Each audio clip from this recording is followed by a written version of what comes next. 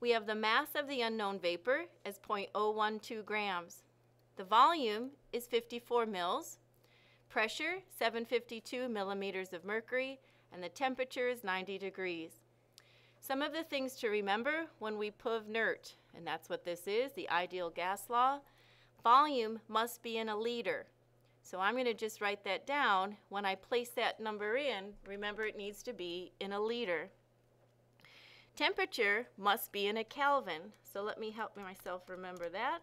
90 plus 273 gets me 363 Kelvin units. And the R constant in a PUV NERT must match the pressure unit. In 752 mmHgs, or the word torr, has an R constant that matches a 62.4. Hidden in the N variable is the molar mass. So here's what we know. If PV equals nRT, pressure given to us is 752 mmHgs.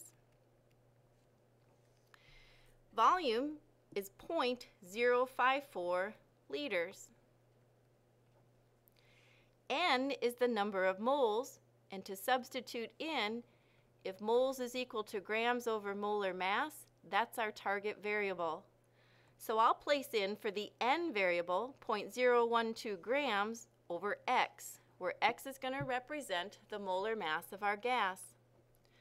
R is our constant, 62.4, and the temperature in a Kelvin unit, 363 K.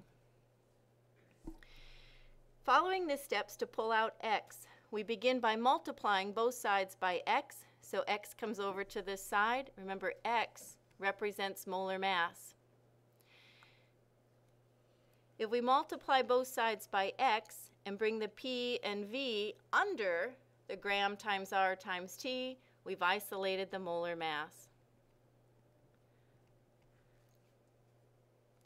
The molar mass will be found by hitting the grams, 012, the constant 62.4, the temperature 363 K over P times V in a parenthesis 752